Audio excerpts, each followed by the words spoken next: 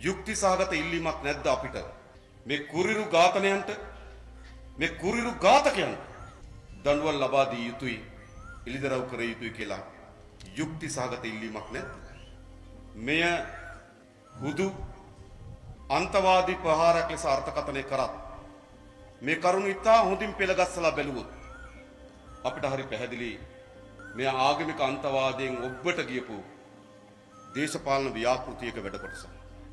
අපි කවුරුත් දන්නවා දෙදස් පහළව ජනවාරි මාසය අටවෙනිදා තීරණාත්මක ලෙස රාජපක්ෂ රෙජිමිය මේ රටේ ජනතාව මැතිවරණකින් පරාජයට පත් කරනු ලැබුවා. පරාජයට පත් වූ දවසේ සිට ඔවුන් සැලසුම් කරේ ඔවුන් ඉලක්ක කරේ නැවත තමන් වෙත බලය ලබා ගැනීම සඳහා. ඒ සඳහා කළ හැකි සෑම පන්නීම විනාශ මතවා විනාශකාරී මතවාදය විනාශකාරී ක්‍රියාමාර්ගවල ඔවුන් නිරත වුණා. ඔවුන් 2015 පස්සේ ආමන්ත්‍රණය කරේ ප්‍රජාතන්ත්‍රවාදය පිළිබඳ සටන් පාඨයක් නෙවෙයි. 2015 පස්සේ ඔවුන් නියෝජනය කරේ ආර්ථික සංවර්ධනය පිළිබඳ සටන් පාඨයක් නෙවෙයි. 2015 පස්සේ ඔවුන් නියෝජනය කරේ ආර්ථික සමෘද්ධිය පිළිබඳ සටන් පාඨයක් නෙවෙයි. 2015 පස්සේ ඔවුන් නියෝජනය කරේ නීතිය විධානය ආධිපත්‍ය පිළිබඳව සටන් පාඨයක් නෙවෙයි. 2015 පස්සේ ඔවුන් නියෝජනය කරේ ලෝක ඉස්සරහා අභිමානවත් රාජ්‍යයක් ගොඩනැගීම පිළිබඳව සංකල්පයක් නෙවෙයි. 2015 ඔවුන් දියත් කරේ ජාතිවාදයේ ලේවැකි මතවාදය. ඔවුන්ට අවශ්‍ය වී තිබුණා. නැවත බලය අත්පත් කර ගැනීම සඳහා තමන්ගේ එකම කුරිරුතම අවිය බවට ජාතිවාදී උපයෝග කරගන්න. බලන්න 2015 පස්සේ අපේ ශබ්දකෝෂයට ආපු අලුත් වචන ජාතිය අනතුරේ 2015 පස්සේ අපේ රටේ 2015ට පෙර අපේ ශබ්දකෝෂයේ එහෙම වචනයක් තිබෙන්නේ. 2015ට පෙර තිබුණද රණවිරු දඩේම කියලා සාකච්ඡාවක්. ඒක 2015 පස්සේ. 2015 පස්සේ තමයි යලි කොටි නැගිටි බණ්ඩාරවෙල බෝම්බේ පුපුරුපේ හැටිය කිව්වා LTT සංවිධානයේ නැවත පුනරුත්පත්තිය බණ්ඩාරවෙලින් පටන් ගත්තා. අවසානයේදී කියන්න පටන් ගත්තා නෑ මුස්ලිම් ජාතිවාදයක් වර්ධනය වෙමින් තිබෙනවා.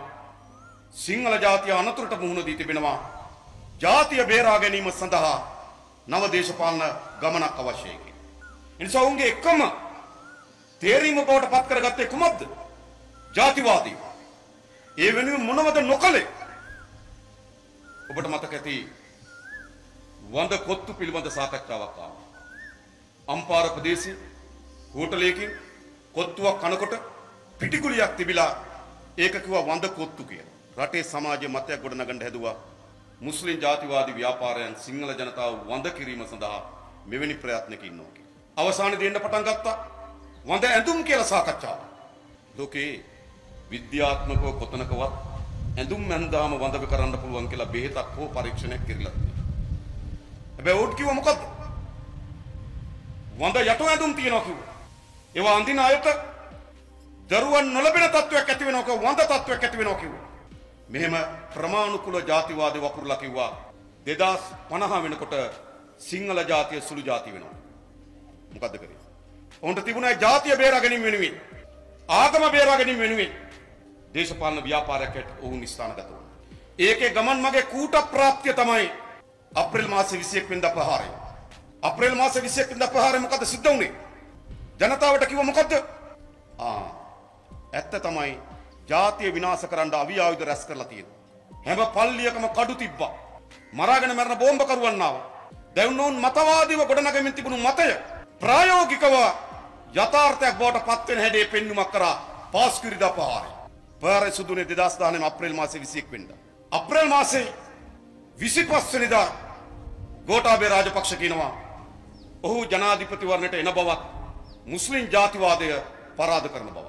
බෝම්බේ පුපුරන්නේ අප්‍රේල් මාසේ 21 ඔහු ජනාධිපති ඡන්දයට එනවා කියලා ප්‍රකාශ කරන්නේ අප්‍රේල් මාසේ 25 වෙනිදා.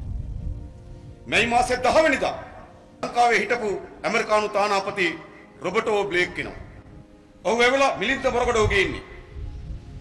ඔහු ගැනල්ලා සම්මන්ත්‍රණයක් තියලා කියනවා ගෝඨාභය රාජපක්ෂ හිටියා නම් මේ ප්‍රහාරයේ සිදු නොවන බව. ගෝඨාභය රාජපක්ෂ කියනවා මම ආවිගස ජාතිවාදයේ පරාජයට පත් කරන බව. ද ක්‍රමානුකූලව තමන්ගේ බල ව්‍යාපෘතිය ඉතාමත් තීරණාත්මක පුපුරව හැරීමක් තමයි තීරණාත්මක ඝාතනයක් තමයි අප්‍රේල් මාසේ 21 වෙනිදා සිද්ධ වෙන්නේ. එතනින් පස්සේ මුළු ඡන්ද මැතිවරණ බල ව්‍යාපෘතිය ලියවිලා ඉවරයි. අප්‍රේල් මාසේ 21 වෙනිදාකින් පසු. එතනින් නතර වුණේ නැහැ. ඊට පස්සේ නැවත නැවත ගැටුම් ඇති කරන්න උත්සාහ කරා. මේ මාසේ 21 වෙනිදා අපිට තේරුම් ගන්න අපිට තේරුම් ගන්න පුළුවන් අප්‍රේල් මාසේ 21 වෙනිදා ප්‍රහාරයට කම්පා වෙලා 21 වෙනිදා රැහ 22 වෙනිදා උදේ කලබල ඇති වෙන්න පුළුවන්. හැබැයි අපේ රටේ කලබල ඇතුනේ මේ මාසේ 14 හලාවතදී මීගොමුවේදී පිංගිරියේදී මිනුවන්ගොඩදී අධිස්ථාන ගණනාවක නැවත සලසුම් සාගත ජාතිවාදයේ ප්‍රචණ්ඩ ක්‍රියා උත්සාහයට ගෙනාවා. අපි දැක්කා ඒ වගේ ඉදිරියෙන් හිට කවුද කියලා. පිංගිරියේදී හෙට්ටිපොළදී අර නාමල් කුමාරලා කලබැහැල කලබැහැල හිටපේටි අපි දැක්කා. මිනුවන්ගොඩදී අර ගායකයා එලිබැහැල හිටපේටි අපි දැක්කා. මధు මාදවල. බිංගිරියේදී දයාසිරිලා එළියට ඇවිල්ලා හිටපු හැටි අපි දැක්කා. එනිසා මොකද කරේ? එතනින් යට යන්න ඉඩ නොදී නැවත මේ ජාතිවාදය උස්සන්න කරමින් දේශපාලන ව්‍යාපෘතියක් ඉස්සරහට ගෙනිච්චා. අවසානයේදී දිවයින පුවත්පත ප්‍රධාන ප්‍රවෘත්තියක් පළ කරා. කුරුණෑගල දොස්තර කෙනෙක් සැත්කම් 8000ක් කර තිබෙන බවත් එයින් සැත්කම් 4000ක් වඳ සැත්කම් බව. කොහොමද නිර්මාණය වෙන්නේ? මේක පෙළ ගැස්මක්. හැබැයි අද අපි ඉස්සරහා ඔක්කොටම සත්‍ය එළිදරව් වෙමින් තිබෙනවා. වඳ කොත්තු කියලා જાතියක් තිබිලා නැත. වඳ ඇඳුම් කියලා වර්ගයක් තිබිලා නැත. සාපි කියන වෛද්‍යවරයා වඳ සත්කම් සිදු කොට නැත. ඒ නිසානේ ඔහුගේ වැටුපත්, ඔහුගේ රැකියාවත් වැඩ තහනම් කරපු කාලේ වැටුපත් නැවත ගෙවන්න කියලා තීරණය කරන්න. එහෙනම් මේ ප්‍රබන්ධය නිර්මාණය කරේ කුමක් වෙනුවෙන්? මේ ප්‍රබන්ධය නිශ්චිත පරිදි ගෝඨාභය රාජපක්ෂ ඇතුළු කඳවුරේ බලය ලබා ගැනීම සඳහා බල ව්‍යාපෘතියක්. අන්න ඒ නිසා තමයි අපි කාටත් සාධාරණ සැකයක් ඇති වෙන්නේ. මේ අප්‍රේල් මාසයේ 21 වෙනිදා සිදු ප්‍රහාරයේ සැබෑ වර්ධකරුවන් කවුද? කෝ? අපි දැනගන්න ඕන. කවුරුද දැනගන්න ඕන මේක? මේකේ වර්ධකරුවන් පාර්ශ්ව දෙකක් ඉන්නවා. එකක් තමයි નિયમિત පරිදි, නිසි පරිදි තොරතුරු ලැබී තිබෙදී ප්‍රහාරය වළක්වා ගැනීමට අසමත් වූ පාර්ශ්වය. දෙක මෙම ප්‍රහාරය සැලසුම් කොට මෙවැනි දෙවන්ත ඝාතනයක් සිදු කිරීම සඳහා අනුබල දීපු මෙහෙවපු මහමුලකරුවන් මේ කණ්ඩායම් දෙකටම නිසි පරිදි දඬුවම් දෙන්න ඕන. මොකද ඉතා පැහැදිලි. අප්‍රේල් මාසයේ 4 වෙනිදා ඉන්දියාවේ රහස්වත්තු සේවයක් ඉතා පැහැදිලිව සඳහන් කරනවා මෙවැනි මුස්ලිම් අන්තවාදී කණ්ඩායමක් විසින් ප්‍රහාරයක් එල්ල කිරීමට සැලසුමක් තිබෙන බව. අප්‍රේල් 9 වෙනිදා වාර්තා කරනවා. එම ප්‍රහාරය සහරාන් ඇතුළු කණ්ඩායම සිදු කරන බවත් එයාගේ නාම ලේඛනය, ඔවුන්ගේ දුරකථන අංක, ඔවුන්ගේ හැඳුනුම්පත් අංක, ඔවුන්ගේ ඇඩ්‍රස් මේ ප්‍රහාරයක් ඇඟේ සියලු තොරතුරු අප්‍රේල් මාසයේ 9 වෙනිදා ආරක්ෂක තොරතුරු ඒකකයට ලැබෙනවා. අප්‍රේල් මාසේ 10 වෙනිදා තවත් තොරතුරු ලැබෙනවා. අප්‍රේල් මාසේ 16 වෙනිදා කාන්තන්කුඩි ප්‍රදේශයේ බයිසිකලයක් පුපුරව හැරලා අත්හදා බැලීම් පිපිරීමක් කරනවා. ඒ අත්හදා බැලීම් පිපිරීම පිළිබඳව අප්‍රේල් මාසේ 17 වෙනිදා බුද්ධියන්ස වෙත සියලු තොරතුරු වෙනවා. බයිසිකලය අරන් තියෙන කැලණිය ප්‍රදේශයේ මේ මේ විදියට ගමන් කරා මේ ස්ථානයේදී පුපුරවා ගත්තා. මේ මේ අය හවුල් වුණා කියලා. ඒ නිසා පුපුරවා ගැනීමට සූදානම්ක් තිබෙන බවක් අත්හදා බැලීම් පිපිරීම කර තිබෙන බවක් බුද්ධියන්ස වලට වාර්තා වුණා. අප්‍රේල් මාසේ 20 වෙනිදා වාර්තාවක් ඇවිල්ලා කියනවා හෙට උදේ ගහනවා කියලා. අප්‍රේල් මාසේ 21 වෙනිදා උදේ 7ට වාර්තාවක් ඇවිල්ලා කියනවා හෝටල් වලට සහ පල්ලි වලට ගහන්න කියලා. තමනවා මෙවැනි දිනපතා එකින් එක සිදුවීම් සියල්ල හොඳින් වාර්තා වෙමින් තිබියදී වළක්වා ගන්න අසමත් වුණේ කවුද? ඔවුන් මේකේ ඝාතකයන් නෙවෙයිද? ඔවුන්ට නිසි දඬුවමක් නොලැබිය යුතුද? ආණ්ඩුවක් හදන්නේ ඒ රටේ ජනතාවගේ ඒ රට ආරක්ෂාව පිළිබඳව වගකීම අපි උන්ට බාර දෙනවා. සාමාන්‍ය පුරවැසියන්ගේ වගකීමක් නෙවෙයි. අපිත් අපේ වැඩ කොටස කරමු. හැබැයි මූලික වගකීම තියෙන කාටද? මූලික වගකීම තියෙන ආණ්ඩුවට. ජනාධිපති මෛත්‍රීපාල සිරිසේනට, අගමැති රනිල් වික්‍රමසිංහට, රාජිත සජිත් කිරියල්ල ඇතුළු කැබිනට් මණ්ඩලයට ඔවුන්ට තමයි මේ රටේ මේ රටේ පුරවැසියන්ගේ ආරක්ෂාව පිළිබඳ වගකීම් බාර දුන්නේ. ඒ වගකීම් ඉටු කරා. අද විවිධ කතා කියන මම අහගෙන පාර්ලිමේන්තුවේ. අපි අප දැනගන්න කැමතියි. මෙවැනි තොරතුරු සියල්ල වාර්තා වෙමින් තිබියදී මොකද කරේ? යාලේ අලි බලබල හිටියා. ඔන්න යාළුවා. එහෙම ආවිලා කියන මොකද්ද? පාස්කු විද්‍යාවට සාධාරණ ඉටු කරනවා. මතක තබා ගන්න. මේ අපරාධ පාර්ශ්ව දෙකක් ඉන්නවා. එකක් මේ નિયમિત පරිදි තොරතුරු ලැබී තිබියදී මේ ප්‍රහාරය වළක්වා ගැනීමට අසමත් වූ කණ්ඩායම. සාතක වශයෙන් ඔබට අපිට ඔබට අපි එක සාතකයක් දෙනවා. තමන්ගේ ජනතාව පිළිබඳ වගවීම අත්තරපු කණ්ඩායමටත් නිසි පරිදි දඬුවල් ලබා දීම සඳහා වූ පාලනයක් අපේ රටේ ගොඩනගන්න ඕන. ඊළඟ ඊළඟ මේ ප්‍රහාරය ඉතාමත් පැහැදිලි සැකකටයුතු අවස්ථා කීපයක් තිබෙනවා. පළවෙනි එක 2018 නොවැම්බර් මාසයේ 30 වෙනිදා වවණුතු ප්‍රදේශයේදී පොලිස් මුරපොලක හිටපු පොලිස් නිලධාරීන් දෙදෙනෙක් ඝාතනය කරනවා. ඒක තමයි සහරාල්ලාගේ පළමු ඝාතනය. එහෙනම් ඒ ඝාතනය පිටිපස ඉතා හොඳින් හඹාගෙන ගියා නම් අප්‍රේල් මාසයේ 21 වෙනිදා පහර සිද්ධ වෙන්නේ නැහැ. හැබැයි ඒ ඝාතනය වෙන අතකට යොමු වුණේ කොහොමද?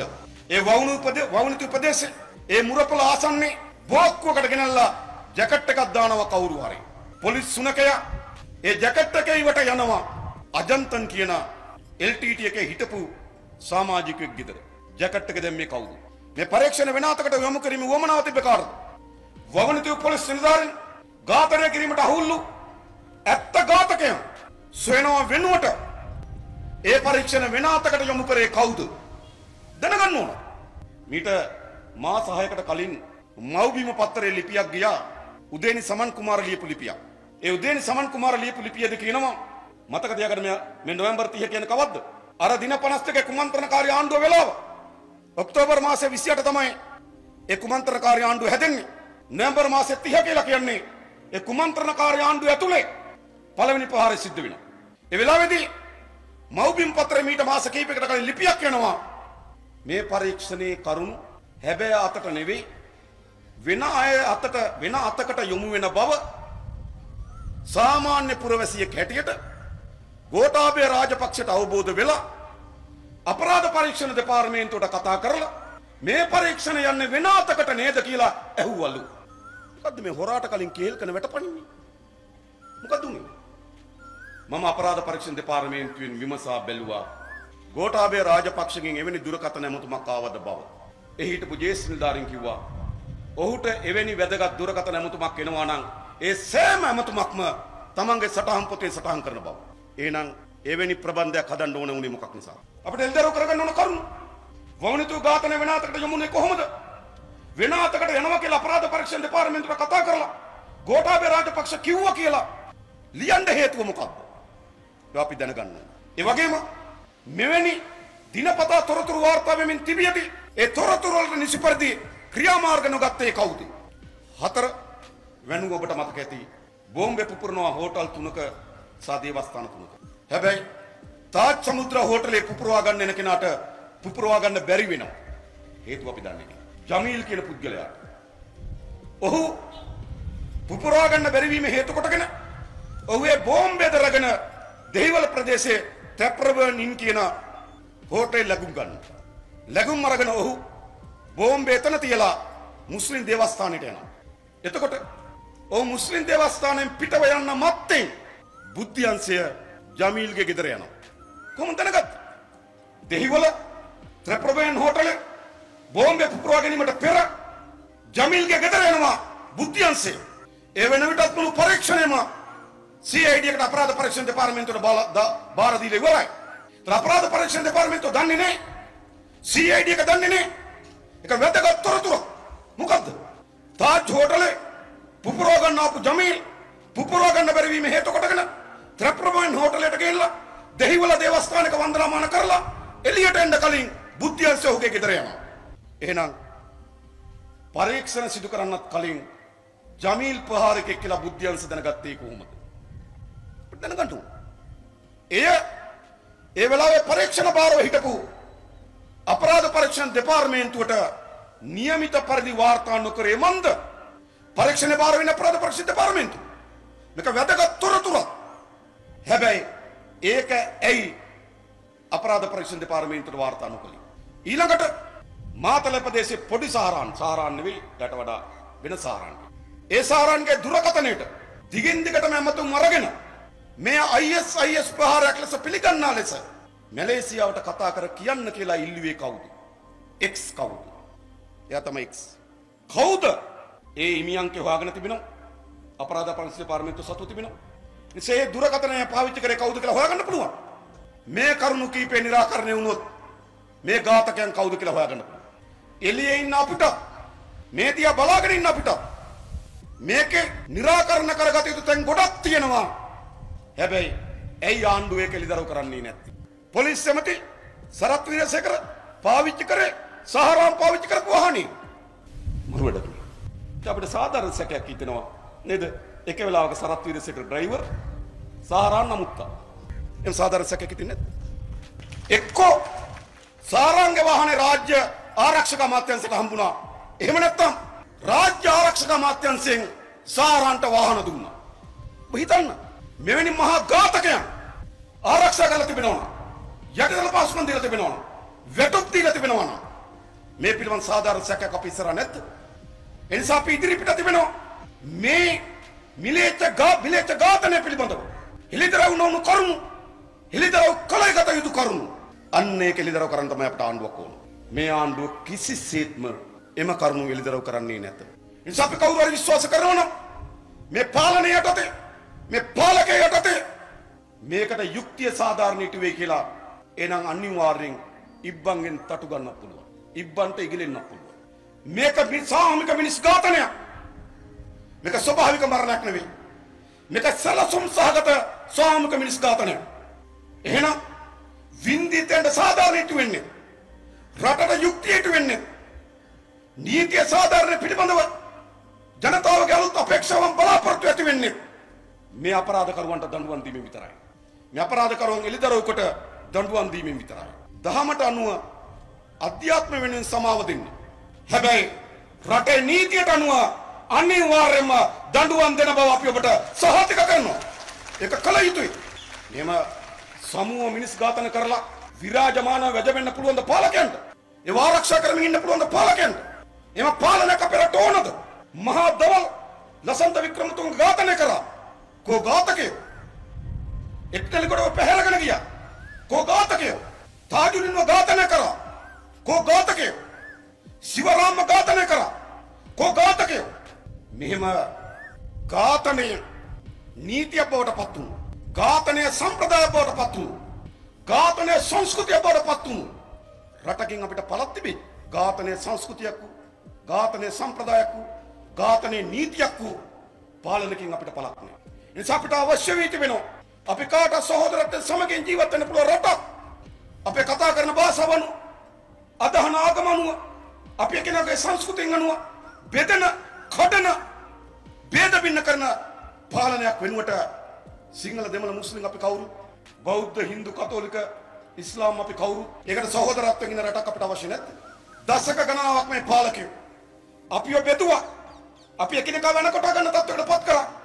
අපි එකිනෙකා අතර කෝපය වැඩි කරා එකිනෙකා අතර වෛරය වැඩි- වැඩි කරා මේ පාලකයන් අපිට කරන්න පුළුවන් හැම විනාශම කරලා ඉවරයි දැන් අපි හැම තිබෙන එක අභියෝගය අපි මේ පාලනය වෙනුවට යුක්තිය නීතිය සාධාරණත්වය සහිත රාජ්‍යයක් අපි නිර්මාණය කරන්න ඕන.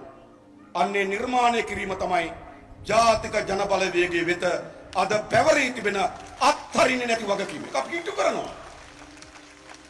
අවසාන වශයෙන් මම ඔබට සාධකයක් දෙනවා. අවසාන වශයෙන් මේ අදත් අපි අතර හුස්ම ගනිමින් ජීවත් වෙන්න තිබුණු අම්මලා තාත්තලා දුවදරියන් තමන්ගේ ආගමික විශ්වාසයන් මත තමන්ගේ පූජාසනය මත මරා දමනවා නම් ඔවුන්ට අනිවාර්යයෙන් ඒ වින්දිතයන්ට යුක්තිය ඉටු යුතුයි. අපි ඔබට සපත කර සිටිනවා. ඒ යුක්තිය ඉටු කරන්නේ අප පමණයි සහතික වශයෙන් ඉටු කරනවා. ටෝක්වින් බවන්ත ප්‍රසාද්. ඔබ සොයන චැනලය